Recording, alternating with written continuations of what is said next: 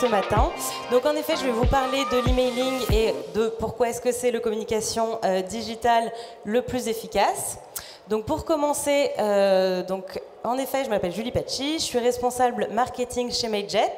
Donc pour ceux qui ne nous connaîtraient pas encore, on est une solution d'emailing qui permet d'envoyer différents types d'emails.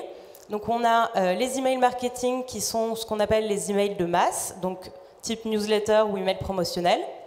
On a les emails automatisés qui sont les emails euh, déclenchés automatiquement suite à une date ou un événement. Et on a les emails transactionnels qui sont déclenchés suite à l'action d'un utilisateur. Donc c'est tout ce qui va être euh, réinitialisation de mot de passe, confirmation d'achat, etc. Donc tout au long de la présentation, justement, on va voir ces différents types d'emails et en quoi ils peuvent vous aider à mettre en place une communication efficace. Et donc, pour terminer, juste notre, spécificité chez Medjet, c'est le fait de proposer des fonctionnalités collaboratives, donc pour permettre aux équipes de travailler ensemble en temps réel. Hop. Alors, avant de rentrer dans le vif du sujet, je voulais partager avec vous quelques chiffres. Euh, donc, on parle du canal avec le meilleur ROI, avec un retour sur investissement moyen de 30 euros pour chaque euro dépensé. Aujourd'hui, on a mené une enquête et on a vu que c'est le canal de communication préféré des consommateurs avec plus de 70% qui préfèrent être contactés par email. Et donc le canal de communication utilisé dans les prochaines années, on a beaucoup en tête que c'est un, un canal de communication un peu ancien, mais en fait pas du tout. On voit qu'il a un bel avenir avec plus de 80% des consommateurs qui pensent qu'il s'agit du canal qui sera le plus utilisé dans les 10 prochaines années.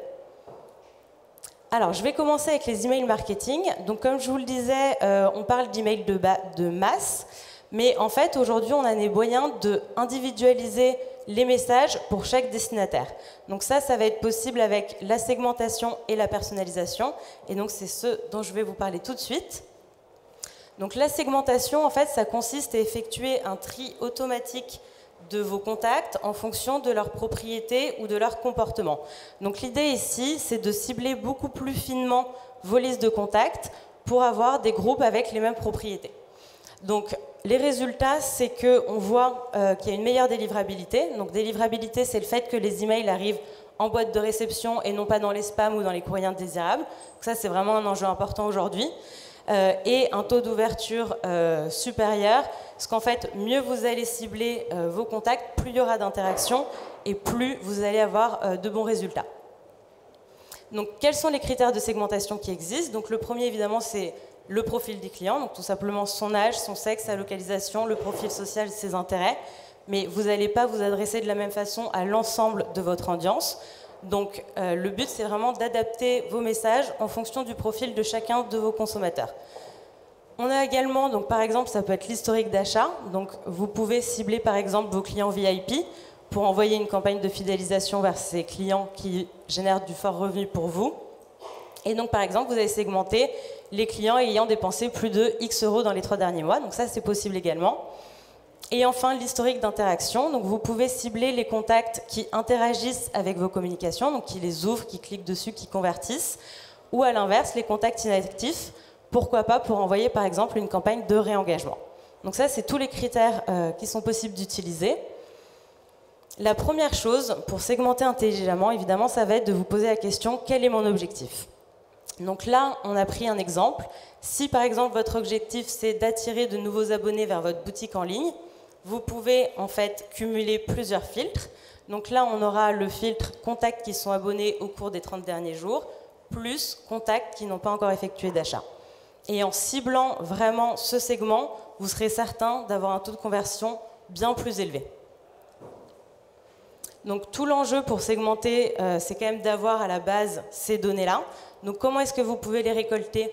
Donc soit via vos différents formulaires, que ce soit votre formulaire de création de compte, d'abonnement à la newsletter, ça peut être aussi des questionnaires de satisfaction que vous envoyez régulièrement, ou toutes les données que vous avez via vos différents outils, et notamment via vos outils CRM. Donc tout l'enjeu, euh, c'est de regarder les données que vous avez, et s'il vous manque des données pour segmenter intelligemment, de réfléchir à une stratégie pour récolter toutes ces données-là. Et donc ensuite, pour exploiter ces données euh, dont vous disposez, l'idée c'est d'intégrer vos différents outils avec votre solution d'emailing pour que derrière, vous puissiez récupérer bah, toutes les informations que vous avez, que ce soit sur Salesforce, WordPress ou autre, sur votre solution d'emailing et de pouvoir segmenter avec ces données-là. Et donc maintenant qu'on a segmenté la liste de contacts, donc vous avez votre audience cible, L'objectif maintenant, ça va être de personnaliser le contenu pour leur pousser un contenu qui leur est dédié, qui va être adapté à cette cible. Donc là, j'ai pris un exemple de Netflix que j'aime beaucoup, euh, mais on voit qu'ils sont très bons sur plusieurs choses. Euh, tout simple, et aujourd'hui, il y a quand même beaucoup de marques qui le font, mais c'est toujours un très bon moyen d'attirer l'attention du lecteur en boîte de réception à l'heure où aujourd'hui on reçoit beaucoup d'emails. Donc personnalisation de l'objet avec le prénom pour attirer l'attention du lecteur. Et ensuite, il y a une vraie personnalisation du contenu euh, en fonction du profil des clients. Donc le fait que je sois une femme de moins de 30 ans qui habite à Paris, mais aussi en fonction de mon historique de film. Donc ils ont toutes ces données-là, ils vont tout compiler et vraiment pousser un contenu qui va être adapté pour convertir euh, de manière beaucoup plus efficace. Et donc, euh, un gros, gros avantage de l'email, ça va être la capacité de pouvoir faire de l'AB testing. Donc, l'AB testing, c'est le fait de pouvoir tester différentes versions. Donc, quand on parle d'emailing, ça va être par exemple tester différents euh, call to action. Donc, c'est ce qu'on voit là. Donc, vous créez ces trois versions-là pour voir le quel call to action va être le plus efficace. Donc les trois versions vont être envoyées à un échantillon de votre liste de contacts et la version qui va générer le meilleur résultat sera envoyée à l'ensemble euh, de vos contacts. Et donc ça, c'est vraiment le meilleur moyen pour optimiser la performance de vos actions. Et vous pouvez le faire pour les call to action, mais vous pouvez le faire pour chaque élément de vos emails et vraiment améliorer votre stratégie. Et autre chose, donc les statistiques, euh, vous pouvez suivre en temps réel les résultats pour chaque euh, campagne emailing que vous lancez, donc que ce soit euh, les taux d'envoi, les taux d'ouverture, les taux de clic, les taux de conversion. Et donc vous pouvez vraiment derrière identifier les actions qui ont été performantes ou non, et du coup, encore une fois, améliorer en continu votre stratégie emailing. Donc les emails transactionnels maintenant, donc on l'a dit tout à l'heure, c'est les emails qui vont être déclenchés suite à l'action euh, d'un utilisateur. Donc ça peut être une confirmation, une réinitialisation de mot de passe, une notification de livraison, tout ce genre d'email. Donc, chez MailJet, on a mené euh, une étude pour comprendre justement l'importance de ces emails transactionnels. Et on a vu que près d'un tiers des consommateurs reçoivent plus de 4 emails transactionnels par jour. On a 8 Français sur 10 qui sont prêts à délaisser une marque à cause d'une mauvaise expérience avec un email transactionnel. Et un client qui ne reçoit pas son email transactionnel dans les 60 secondes est potentiellement un client perdu. Et en effet, euh, j'ai eu une expérience il n'y a pas longtemps pour prendre mes billets d'avion pour euh, cet été, qui est un achat quand même assez important et assez impliquant. Et j'ai pas reçu immédiatement l'email de confirmation et ça a été une très mauvaise expérience. C'est vraiment quelque chose sur lequel il faut jouer euh, pour garder vos clients. Et donc, comme je vous le disais, c'est vraiment des emails qui vont être très attendus de la part des consommateurs et donc qui ont des bien meilleurs résultats que les emails marketing avec 40% euh, plus de clics qu'un email marketing et 42% plus de chances de convertir qu'une newsletter. Sauf que la problématique qu'on voit aujourd'hui, c'est que plus de euh, la moitié des emails transactionnels ne passent pas par le département marketing et donc ne sont pas optimisés pour la conversion. Donc on le voit ici, on a des emails marketing qui sont bien chartés avec des call to action, etc. et des emails transactionnels euh, qui ne sont pas du tout optimisés alors que, utilisé correctement, on l'a dit, représente un puissant levier marketing. Donc la première chose, c'est d'assurer euh, la cohérence avec l'image de marque et de jouer sur la confiance en fait, que les clients vont apporter à votre email. Et la chose qui, selon moi, est le plus importante, c'est de pouvoir faire du cross-selling. Donc le cross-selling, c'est de pousser des produits complémentaires à celui que euh, l'utilisateur vient d'acheter à un moment où, encore une fois, il est très attentif à cet email.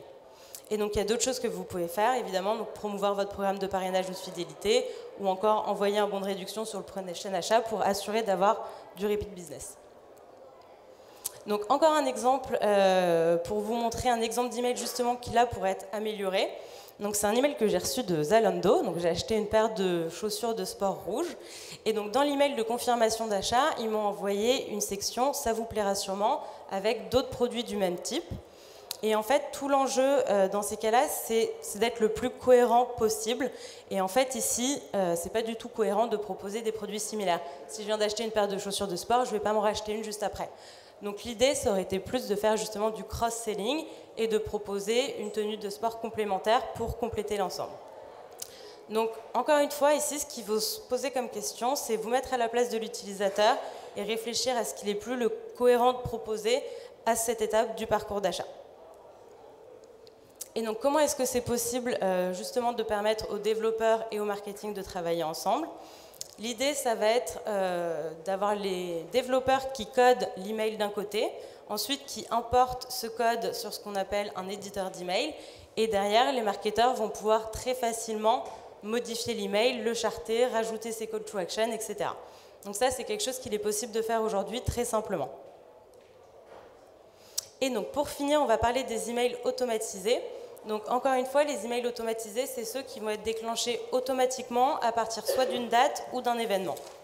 Et donc là, je voulais vous montrer quelques exemples d'emails automatisés performants et donc de scénarios que vous pouvez mettre en place pour convertir. Donc la première chose, c'est la réactivation de clients inactifs. Donc vous l'entendez souvent, mais c'est vrai que euh, ça coûte moins cher de fidéliser un client existant plutôt que d'essayer d'en acquérir de nouveaux. Donc l'idée avec ce workflow, euh, c'est de renvoyer un email automatiquement euh, X jours, semaines ou mois euh, sans qu'un achat ait été effectué en leur disant vous nous manquez, c'est ce que fait Sephora très bien, et proposer pourquoi pas un code promotionnel pour les pousser à, à acheter et en fait réactiver ces contacts inactifs. Donc la deuxième chose, c'est la demande d'avis. Donc on voit en fait que les clients sont beaucoup plus à même d'acheter un produit ou un service s'ils ont des avis positifs là-dessus. Donc l'idée, c'est de créer un workflow en demandant automatiquement une à deux semaines après l'achat aux clients de laisser leur avis. Et derrière, vous pouvez récupérer tous ces avis positifs pour les valoriser, les mettre en avant sur votre site et encore une fois, pousser euh, vos nouveaux clients à passer à l'action. Et la dernière chose qu'on a, c'est le panier abandonné donc le classique panier abandonné. Donc ce qu'on conseille, nous, c'est d'envoyer trois types d'emails automatisés. Donc un une heure avant, euh, enfin une heure après, pardon, 24 heures après et 3 à 5 jours après pour justement euh, convertir ces quasi-clients. Vous aurez beaucoup plus de chances de les convertir qu'un client qui s'est simplement baladé sur votre site internet. Et donc là, l'idée, et c'est ce que Booking fait très bien, je ne sais pas si vous êtes euh, utilisateur de Booking, mais c'est de jouer sur l'urgence en disant par exemple qu'il reste plus que X produits ou que euh, l'offre va bientôt être expirée pour pouvoir inciter les gens à passer à l'action. Voilà, donc en conclusion, ce qu'on a vu ici, c'est grâce à l'email, pourquoi est-ce que c'est aussi efficace? C'est que vous pouvez cibler vraiment finement votre audience et créer des messages individualisés pour chacun de vos destinataires. Vous pouvez interagir avec euh, votre cible à des moments clés de leur parcours, donc là où ils vont être le plus attentifs à telle ou telle offre. Et surtout, et ça c'est encore une fois un des gros avantages, faire de la B-testing et suivre la performance de vos actions pour améliorer votre stratégie. Donc c'est pour ça qu'on dit que c'est le canal de communication digitale le plus efficace. Et merci encore à tous d'être venus.